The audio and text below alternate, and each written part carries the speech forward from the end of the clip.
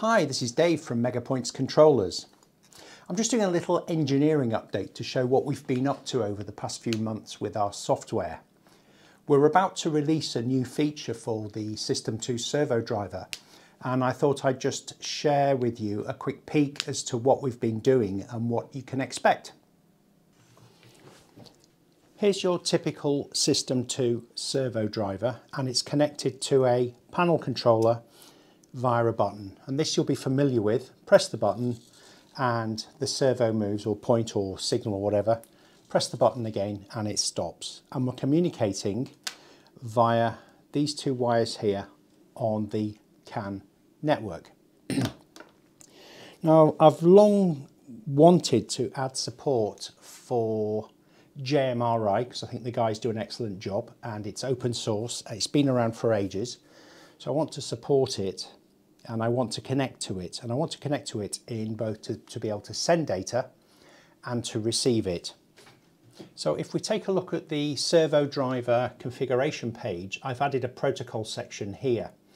If I press that twice, it goes from native to JMRI and it uses uh, an MQTT broker which is running on the JMR, JMRI PC, this one in this case.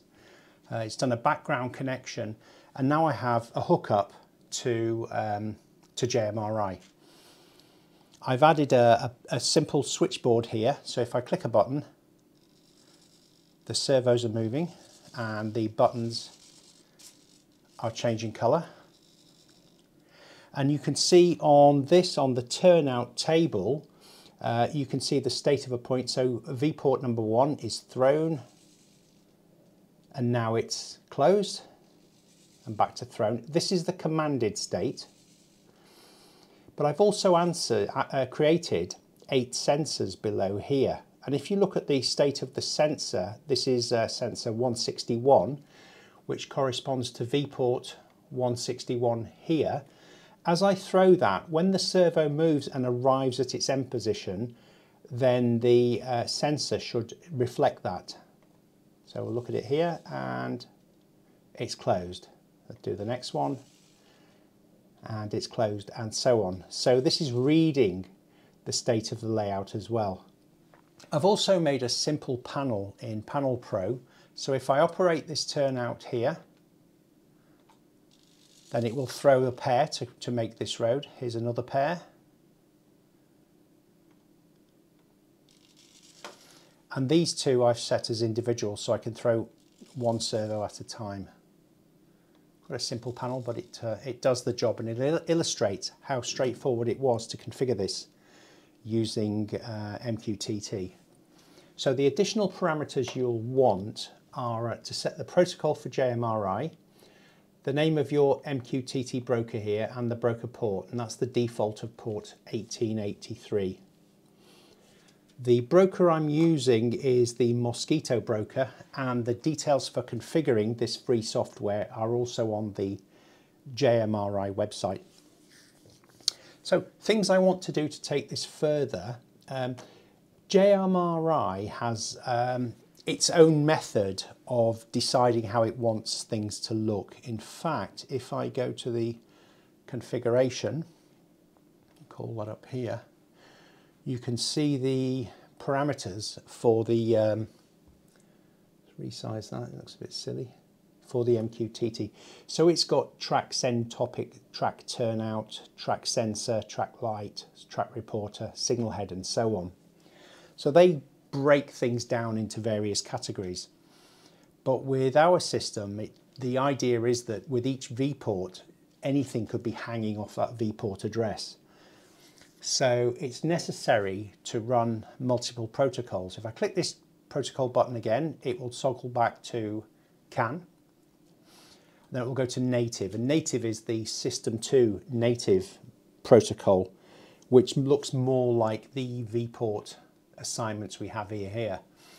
Um, it's not fully implemented yet on native, but with native it will basically give you the same functionality that we have through the CAN bus, but over Wi-Fi. So it'll talk to your local MQTT broker and uh, you don't have to connect the network. So at that point, um, as a customer, you'll be able to take a servo driver either run it against panels wired, run it against panels uh, over Wi-Fi and MQTT, or just take this board and connect it directly to JMRI uh, with nothing extra. So this is effectively a, uh, a Wi-Fi controlled, JMRI controlled um, servo driver that you can put on your network. Where are we now? It's the 18th of February and I expect to make this update available via the online software update about towards the end of the month. So um, you'll be able to just download it if you're curious. And uh, if you happen to have a JMRI installation and you're looking for a servo driver, then this is an excellent way of achieving that. And you can save yourself a bit of wiring at the same time.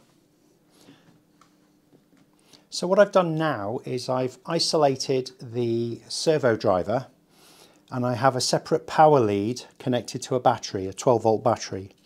So I'm going to connect the power lead to the 12 volt ports here. The board's going to boot and start.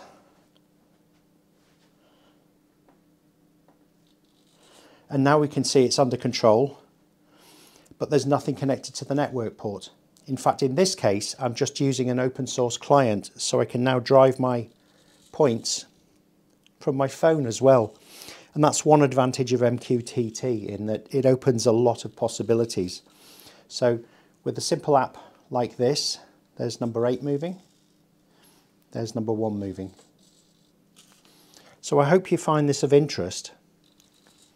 I'm quite excited to get this implemented. I have a few optimizations to make yet, but um, I'm confident we'll have it sorted for the end of the month. This is in uh, native mode at the moment, not JMRI mode, and that's why I'm able to talk to it through my mobile phone.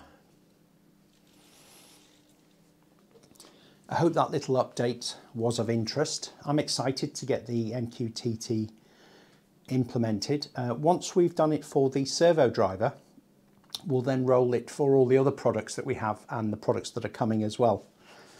Um, we are also working on a DCC gateway. Uh, here it is, uh, the first version. It's not complete yet, so we're working on it. So you'll connect your DCC uh, bus to this connector and then you'll do the usual connectors here. And this will just take any accessory port, what is the range, from 1 to 2000 or 1 to 4000, and it'll simply translate it into a port and allow you to control your system through DCC. Other products on the go, let's have a look. We have this, this is a prototype 32 port panel driver, effectively, or an input driver. So it's a bit like a, a panel controller that you saw, except this just does inputs, so it's got twice as many inputs. So these could be switches on a Mimic panel, or they could be sensors, occupancy sensors, or block detectors, or point position indicators, uh, anywhere on your layout. So if you have a fiddle yard, or a high density of blocks, then this would be great to put on the layout. And the opposite of that board is the, the 32 port um, LED driver, which is effectively two of those makes a uh, double size panel controller, if you will. So it's the complement of this and it allows you to hook up 32 pairs of LEDs. So if you're making a particularly large panel, it may be beneficial to do this. I'm just giving you more choice. How you do it is entirely up to you. And because it's system two and all the V ports are configurable by you, you can mix and match any of this uh, and it'll just work fine. So thanks for watching and I'll see you in the next update.